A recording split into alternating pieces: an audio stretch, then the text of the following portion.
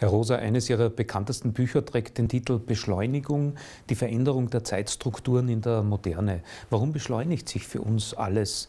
Bringt die Beschleunigung am Ende doch mehr Lust als Frust? Glauben wir, dass wir was versäumen? Das, das glaube ich schon. Also die, äh, die Beschleunigungserfahrung ist eine ambivalente. Äh, wir stöhnen da oft drüber und sagen, ja, alles so schnell geworden und wir haben so wenig Zeit. Äh, aber das eine Interessante daran ist, dass die Tatsache, dass die Dinge schnell werden, uns ja eigentlich mehr Zeit geben müssen und nicht weniger. Und das andere ist, dass wir da uns zwar unter Druck gesetzt fühlen, aber gleichzeitig natürlich auch äh, ja, Lusterfahrungen mit Geschwindigkeit haben. Aber äh, ich glaube, es geht sogar noch tiefer. Unsere Vorstellungen von Freiheit und von Glück sind ziemlich essentiell mit dieser Dynamisierung von Welt äh, verknüpft. Also äh, in der Lage zu sein, Dinge in Bewegung zu setzen, aber auch schnell Sachen erreichen zu können, entweder sie herzuholen oder hinzugehen, hängt mit unserer Vorstellung von Freiheit zusammen, von Vergrößerung von Weltreichweite, also mehr Welt unter Kontrolle zu bringen, erreichbar zu machen. Das ist ganz, ganz tief in unsere kulturelle äh, Logik eingelassen, sodass da tatsächlich ein, ein, Antriebsmoment in uns selber ist. Also wenn wir glauben, wir sind nur die Opfer der schnellen Technik, dann äh, mhm. sehen wir das falsch. Beschleunigung ist an sich ja kein ganz neues Phänomen. Man spricht darüber ja schon seit vielen Jahrzehnten. Sehen Sie trotzdem in der Situation, in der wir heute im 21. Jahrhundert sind, eine außergewöhnliche Tendenz, etwa durch die technologischen Entwicklungen? Also ich glaube, dass es nicht erst ein Phänomen des 21. Jahrhunderts ist. Man kann seit dem 18. Jahrhundert spätestens äh, periodische Wellen von, äh, äh von äh, Beschleunigung beobachten. Das sieht man äh, besonders gut im technischen Bereich, nicht nur da, aber besonders gut. Also auch um 1900 herum, zwischen 1880 und 1920, hat sich die Welt ja gravierend beschleunigt mit der, also die, die Eisenbahn hat sich da nochmal sehr deutlich ausgebreitet, auch Straßenbahnen begannen sich äh, auszudehnen, aber auch das Automobil, die Automobilisierung äh, war zumindest in den Anfängen da und dann kam sowas wie Telefon dazu und Telegrafie und, äh, äh und, und äh, Elektrifizierung. Das heißt, äh, man sieht, dass historisch gesehen sich immer wieder so Beschleunigungswellen ausbreiten, die ganz oft mit neuen Technologien zusammengehen. Und ich glaube, dass wir gegenwärtig tatsächlich in, in, noch immer mit den Auswirkungen zumindest der letzten Beschleunigungswelle äh, kämpfen und die auch spüren. Die verknüpft ist einerseits mit der gewaltigen Digitalisierung natürlich, die immer noch anhält die ja ganz, äh, die, die, ja unsere Lebensbereiche, unsere Lebenswirklichkeit in, in, in, ganz grundlegender Weise verändert hat, viel mehr als das Fernsehen oder andere äh, Technologien. Aber die Beschleunigung, die wir jetzt erfahren, hängt auch mit politischen Veränderungen zusammen, mit dem Niedergang des Eisernen Vorhangs, welcher sozusagen Osteuropa und die ganze äh, Welt, die eben hinter dem Vorhang lag, ähm, dynamisch erreichbar gemacht hat und auch in ganz kurzer Zeit gewaltig umgebaut hat. Und dann sowas wie ähm, Digitalisierung der Finanzmärkte und Deregulierung vor allen Dingen auch, da spielen auch politische mhm. Prozesse eine Rolle. Die haben Welt insgesamt dynamisiert und beschleunigt. Globalisierungsphänomene sind Beschleunigungsphänomene. Es ist ja nicht neu, äh, dass sich Menschen oder Güter oder Ideen weltweit verbreiten, aber dass das in Sekundenbruchteilen geht, das ist mhm. neu sodass ich glaube, wir erleben momentan eine neue Beschleunigungswelle, die nicht die erste ist und vielleicht auch nicht die letzte, mhm. aber die insgesamt das, die Geschwindigkeiten auf einen neuen Höhepunkt getrieben mhm. hat. Wohin kann denn Beschleunigung führen? Welche Gefahren sehen Sie auf diesem Weg? Äh, geht es vielleicht darum, dass äh, Erfahrungswerte leiden, dass Erlebnis und Empfindungstiefe verloren geht? Ja, ich, ich, ich denke mal, dass man da ein bisschen vorsichtig sein muss, weil das ist ganz interessant. Kulturhistorisch gesehen ist jede Beschleunigungswelle mit genau dieser Sorge äh, äh, bedacht worden mhm. oder von dieser Sorge begleitet worden, dass auch Wissenschaftler gesagt haben, oh, zu viel Geschwindigkeit ist schlecht für uns, also schon körperlich. gab äh, im, äh, im Laufe des 19. Jahrhunderts immer wieder Warnungen, dass mehr als 30 Stundenkilometer für das menschliche Gehirn nicht gut sei. Das sei nicht dafür gemacht und deshalb käme es zu Gehirnerweichungen und ähnlichen Dingen. Und zum Beispiel dieser, diese Angst der Gehirnerweichung wiederholt sich wirklich periodisch. Durch jede neue Technologie äh, wurde angeblich das Gehirn äh, weich gemacht. Fernsehen zum Beispiel. Und heute haben wir das ja eigentlich wieder so mit dem Handy. Ja. Ich will gar nicht sagen, dass das nicht richtig sei. Ich will nur sagen, es ist interessant, dass es immer wieder kommt. Mhm. Und natürlich haben wir gesehen, dass wir uns an ganz viele Geschwindigkeiten gewöhnen können, sowohl psychisch als auch physisch was jetzt nicht ausschließt, dass es da tatsächlich absolute Grenzen gibt. Aber ich glaube, eine Analyse der, äh, der Problemlage muss vielleicht gar nicht so stark von absoluten Grenzen ausgehen, als vielmehr von dem, was ich Desynchronisation nenne. Es lässt sich nicht alles gleichermaßen, also gleich schnell beschleunigen, weder zum, zur gleichen Endstufe noch im gleichen Tempo verändern, sodass wir sehen, es gibt im Bereich des Körpers und des Menschen, aber auch im Bereich der Kultur und der Gesellschaft Dinge, die schneller gehen und Dinge, die eben nicht so schnell gehen. Eine Desynchronisation, die offensichtlichste, ist die ökologische. Da sehen wir eben auch, dass die Natur Eigenzeiten ausbildet, in der, besonders in der Reproduktion. Also wir verbrauchen Rohstoffe schneller, als sie sich reproduzieren können. Und wir schlachten oder wir jagen Tiere, die dann aussterben, weil wir sie zu schnell ähm, äh, dezimieren oder, äh, oder Fische oder, oder Bäume zum Beispiel. Ja. Wir schlagen sie in einem Tempo, was zu hoch ist für sie mhm. mhm. zum, Nachwachsen, zum Nachwachsen. Aber ich glaube, auch innerhalb der Gesellschaft sehen wir solche Desynchronisationsprozesse. Politik, Demokratie insbesondere, ist ein zeitaufwendiges Geschehen. Da geht es ja nicht einfach nur darum, dass man per Klick Ja oder Nein sagt, sondern dass man Positionen formuliert, artikuliert, mhm. dass man dann äh, in einer Debatte äh, deliberativ äh, äh, versucht, Argumente zu, zu filtern und dann einen Konsens zu finden. Das ist ein zeitaufwendiger Prozess und der lässt sich nicht so ohne weiteres beschleunigen. Je pluraler Gesellschaften werden und je komplexer die Sachen, um die es da geht, umso mehr Zeit braucht es. Mhm. Und möglicherweise sehen wir auch Desynchronisationserscheinungen einfach im Blick auf menschliche Psyche, obwohl sich auch die Psyche, also unsere das, was man früher Seele nannte, äh, oder einige immer noch Seele nennen. Auch das hat seine Eigenzeiten, eine eigenzeitliche Logik und man kann sich nicht beliebig schnell zum Beispiel auf neue emotionale Inhalte einstellen. Wenn man durch seinen E-Mail-Account geht, oder durch einen SMS-Account, äh, da wird man feststellen, da kommt eine Nachricht, die ist ganz toll, du hast eine Einladung nach Shanghai, klingt super. Die nächste sagt, wusstest du, dass dein Klassenkamerad gestorben ist? Und die übernächste sagt, wir müssen die Sitzung morgen verschieben. Das sind drei ganz unterschiedliche Kontexte und drei ganz mhm. unterschiedliche Problemlagen, auf die wir mit dem Verstand ziemlich gut reagieren können aber nicht so ohne weiteres psychisch also e- oder emotional, so dass mhm. manche sagen, äh, vielleicht kommt es tatsächlich zu einer, äh, zu einer Art Gefühlstaubheit, zu einer Indifferenz in der Welterfahrung. Ne? Wir können zwar mhm. Äh, verstandesmäßig reagieren, aber nicht gefühlsmäßig. Georg Simmel hat das schon um 1900 mhm. Äh, als eine mögliche Gefahr gesehen und der, die Radikalform äh, wäre dann so etwas wie ein Burnout als, als Folge mhm. zu hoher Geschwindigkeit. Sie sprechen von einer Beschleunigungsgesellschaft, also von einer Entwicklung, die uns mehr oder weniger alle betrifft. Bedeutet das, dass der Einzelne gegen diese Entwicklung gar nichts tun kann?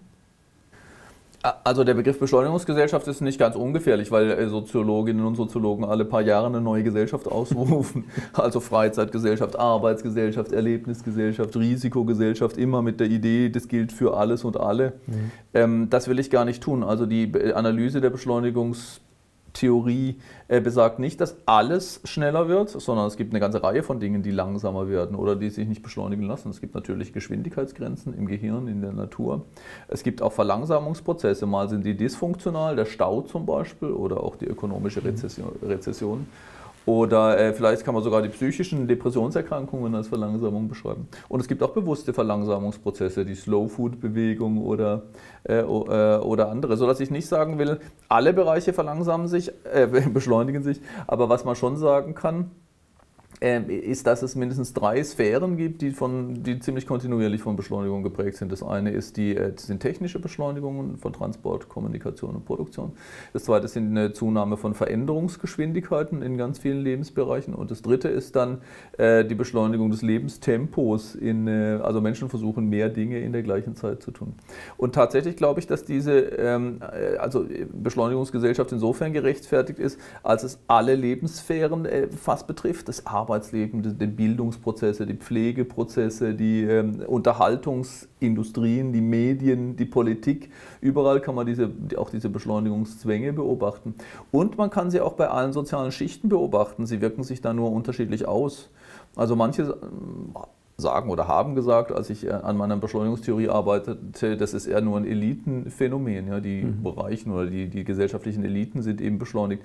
Das halte ich für ganz falsch. Also wenn man äh, sich mal, wenn man muss nur eine Kassiererin im Supermarkt beobachten oder eine Frau, die in der Bäckerei arbeitet, zum Beispiel, die gleichzeitig die Kunden, die Laufkundschaft bedienen muss und vielleicht noch irgendwie das Stehkaffee oder sogar das Sitzkaffee bedienen und so weiter. Oder Leute in der Pflegeindustrie oder Fernfahrer, die auf, auf mhm. äh, bestimmte Zeiten fahren müssen. Also der Beschleunigung Beschleunigungsdruck ist zumindest in allen Berufssphären äh, massiv da. Äh, und äh, noch schlimmer ist er dort, äh, äh, nur auf andere Weise, wo Menschen zwangsentschleunigt werden. Also wenn sie arbeitslos werden oder auf andere Weise aus dem Hamsterrad hinausgeworfen werden. Dann haben sie da zwar viel Zeit, aber diese Zeit wird ihnen entwertet. Sie können damit nichts mehr anfangen und mhm. die wird sogar gesellschaftlich stigmatisiert, sodass der Zwang zur Beschleunigung und sozusagen die Sanktion für, äh, für den Verlust der Fähigkeit, da mitzugehen, sich überall auswirkt. Alle trifft. Die Frage ist, kann man da was dagegen machen? Da, da würde ich sagen, klar, also Veränderungen, ich, ich, glaube nicht, dass man als Individuum als, oder als Einzelner oder selbst als kleine Gruppe äh, das Problem lösen kann, weil es ist ein strukturelles und gesellschaftliches äh, Problem. Was jetzt nicht unbedingt heißt, dass man gar nichts tun kann. Ich stelle mir das so ähnlich vor, wie wenn man eine Krankheit hat, Diabetes zum Beispiel. Ja, die kann ich nicht heilen, im Moment jedenfalls noch nicht, aber ich kann Coping-Strategien entwickeln, also Strategien damit umgehen zu lernen, damit zu, zu, zu überleben. Und da experimentieren ja auch viele Menschen, indem sie versuchen, sich kleine Entschleunigungsoasen oder so etwas zu schaffen.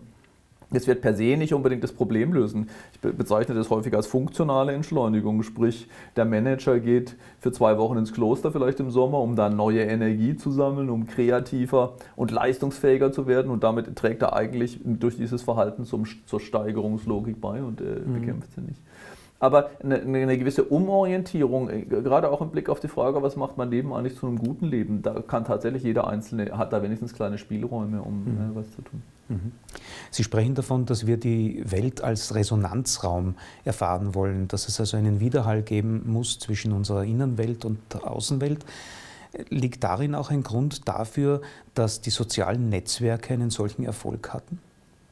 Das glaube ich schon. Ich glaube, es gibt ein menschliches Grundbedürfnis, einerseits sich äh, seines Platzes in der Welt irgendwie bewusst zu werden oder zu vergewissern. Also wir brauchen, glaube ich, einen Sinn für eine Verortung. Und äh, zu diesem Sinn für Verortung gehört sowas wie eine Antwortbeziehung, dass ich nicht einfach mich irgendwo willkürlich platzieren kann oder, oder will, sondern dass ich in Antwortbeziehungen leben muss, dass die, die Welt mir antwortet.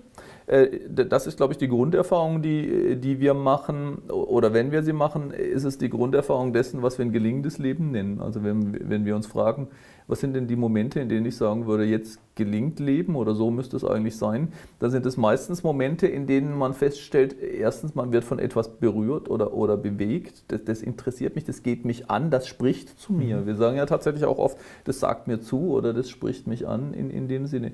Aber es, es, dazu bedarf es auch der, Gegenteil, der gegenteiligen, der gegenrichtigen Bewegung, nämlich dass wir auch etwas erreichen, dass wir andere Menschen zum Beispiel wirklich zu berühren oder zu bewegen mögen und dann in eine Art von Antwortverhältnis treten oder einen Dialog.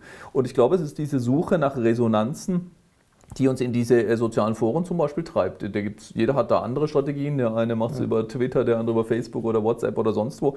Äh, und natürlich gibt es diese, inzwischen diese Sehnsucht, Likes zu kriegen oder so, also äh, äh, äh, Klicks im Sinne des gefällt mir oder gegebenenfalls auch negative Klicks, Kommentare oder so etwas, Freunde zu sammeln, Follower zu gewinnen. Das sind Strategien, sich zu, zu vergewissern, dass die Welt antwortet, dass wir verbunden sind, dass wir Teil eines dynamischen Geschehens sind. Es drängt sich allerdings ein bisschen der Eindruck auf, dass daran etwas äh, defizitär ist. Einfach deshalb, weil wir das sozusagen fast suchtförmig immer, äh, immer mehr davon brauchen. Also die Nachhaltigkeit ist ziemlich gering. Wenn ich, äh, wenn, äh, egal wie hoch die, die, die, die Feedback-Rate heute ist, wenn sie morgen niedriger ist, habe ich schon das Gefühl, da stimmt was nicht. Also äh, das führt fast zu einem Dauersuchtverhalten, so mhm. eine Art Panik, äh, panischer Suche nach Resonanz. Auf der einen Seite und das andere Problem ist auch, die Quantifizierungslogik. Wir zählen dann wirklich Freunde, Follower oder Kommentare oder Likes. Mhm. Ähm, und das scheint irgendwie weniger nachhaltig zu sein als eine de facto Face-to-Face-Begegnung in irgendeiner Form oder mhm. überhaupt eine Naturerfahrung oder eine Kunsterfahrung sagen wir mal eine Bergwanderung oder so. Jedenfalls hat man da das Gefühl, dass das nachhaltiger ist, einem tiefer prägt als diese Art von Resonanzsuche. Setzt eine wirkliche Resonanzerfahrung nicht auch ein sich einlassen, sich Zeit nehmen voraus? Also gewissermaßen das Gegenteil von Dinge gleichzeitig tun, Multitasking? Ich finde, es ist ganz interessant, sich zu überlegen, wie diese gelingenden Momente des Lebens, die ich als Resonanzmomente oder Resonanzerfahrungen beschreiben würde, wie die sich zu dieser zeitlichen Problematik verhalten. Ich glaube nämlich in dem Moment, wo wir wirklich in Resonanz sind mit etwas oder jemand, also in einem guten Gespräch mit Freunden oder in einer in, in, einer, in, also in einer Intimbeziehung zum Beispiel, aber auch in einer intensiven Naturerfahrung oder Kunsterfahrung oder religiösen Erfahrung.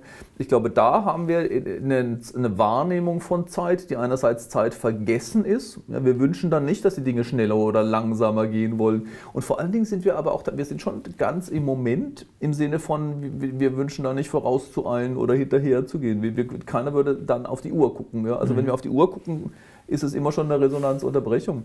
Ich würde trotzdem nicht sagen, dass Resonanzerfahrungen solche sind, die nur im Hier und Jetzt stattfinden, weil das Erstaunliche ist eigentlich, dass sie, dass sie es schaffen, äh, äh, Zukunft und Vergangenheit fast in sich aufzuheben, zu verbinden, anzuschließen.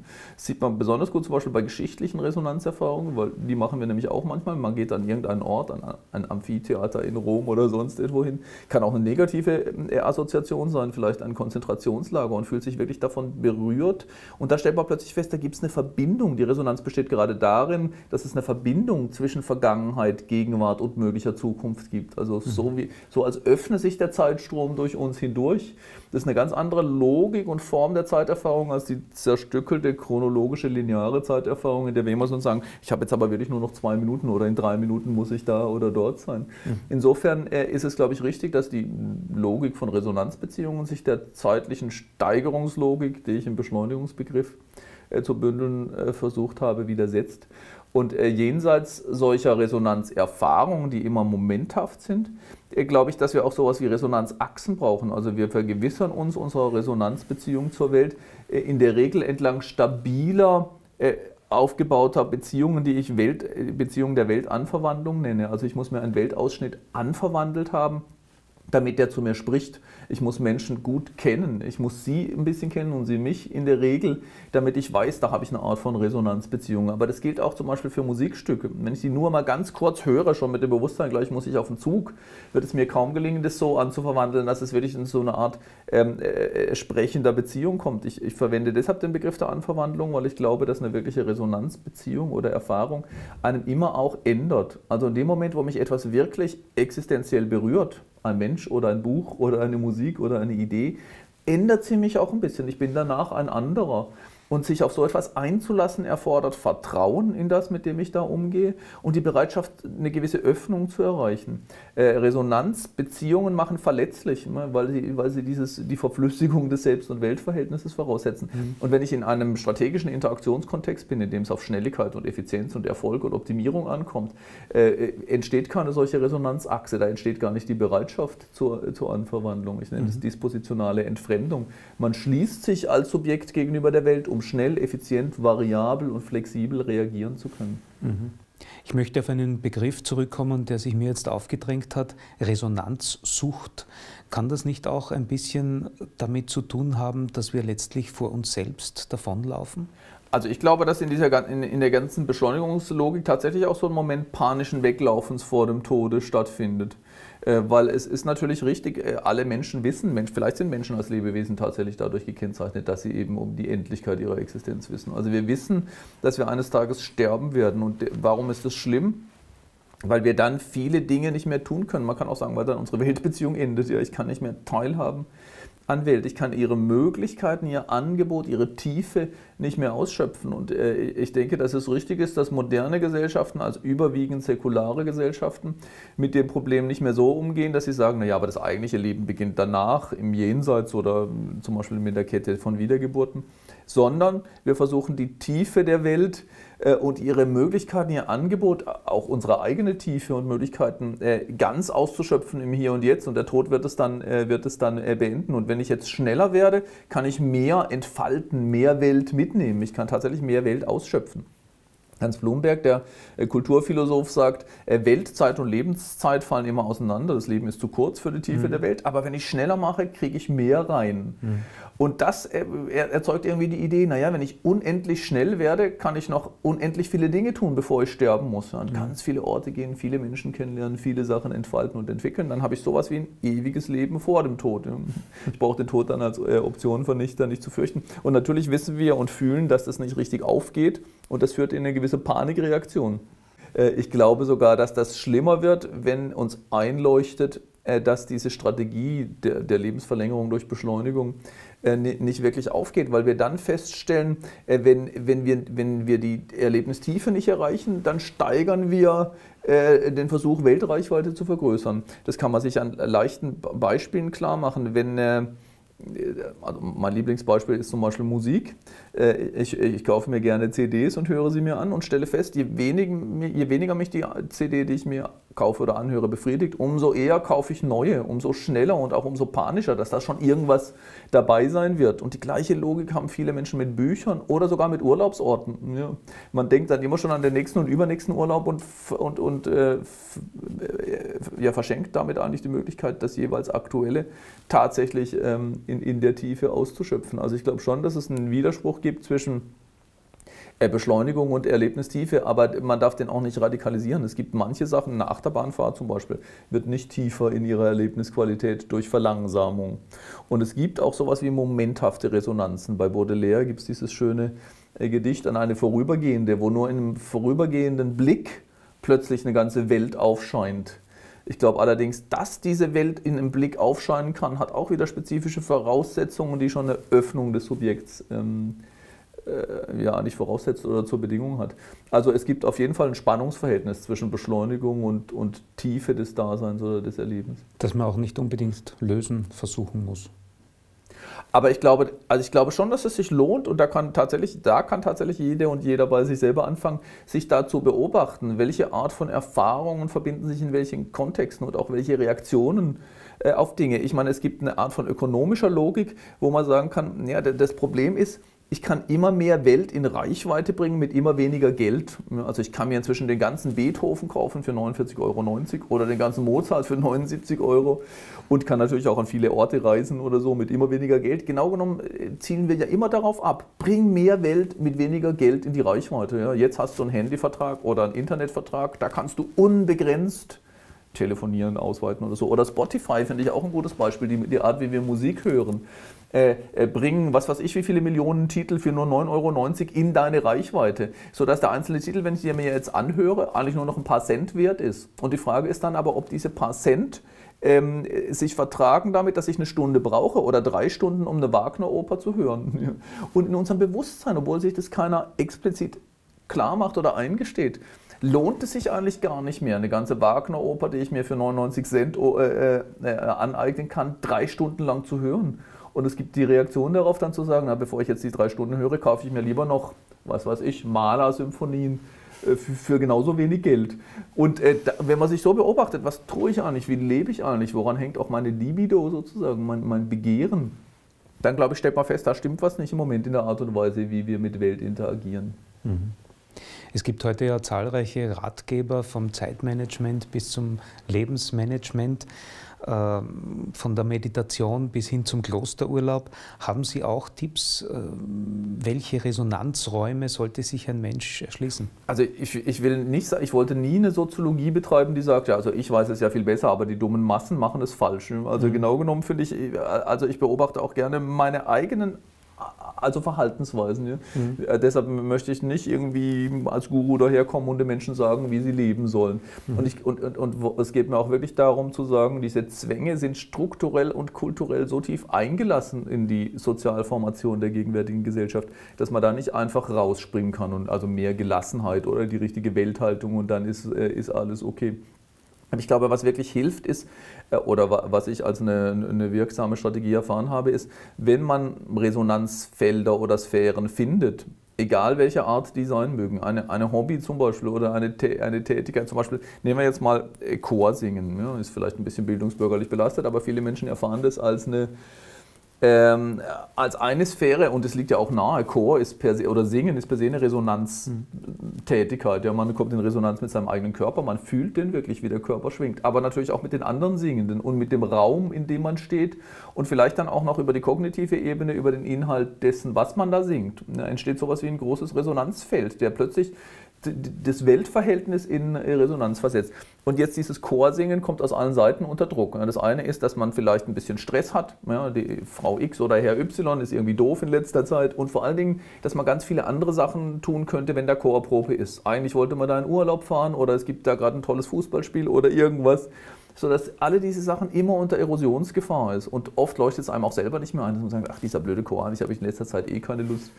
Und ich glaube, da eine gewisse Sturheit aus, äh, auszuprägen und sich diese Sphären zu schützen, das muss beileibe nicht nur Chor sein, das kann eine Tätigkeit sein, das kann ein Ort sein, an dem man lebt. Dann zu sagen, nein, ich habe gefunden, dieser Ort ist eine, eine potenziell oder bildet eine Resonanzachse für mich, dann einigermaßen stur daran festzuhalten, das hilft, glaube ich, mhm. weil wir ja im Prinzip alles kontingent machen. Man kann alles ändern, den Beruf, den Lebenspartner, den Lebensort, die Hobbys. Und äh, da lassen wir uns häufig davon leiten, dann zu sagen, ja, ich ziehe lieber um, ich ziehe zum Beispiel lieber in die Stadt, weil da habe ich viel mehr Möglichkeiten. Das folgt immer dieser Idee, da habe ich viel mehr Welt in Reichweite. Und mhm. ich glaube, man kann diese Balance ein bisschen verschieben. Es geht nicht darum, mehr Welt in Reichweite zu bringen, sondern mehr Welt zum Sprechen zu bringen. Und das ist nur eine, vielleicht, es scheint vielleicht nur wie ein kleiner Unterschied, aber man kann den vom Alltag bis zu den großen Lebensentscheidungen äh, als Leitfaden einsetzen. Mhm. Herr Rosa, vielen herzlichen Dank für dieses Gespräch und viel Erfolg für Ihre weiteren Projekte. Danke. Gerne.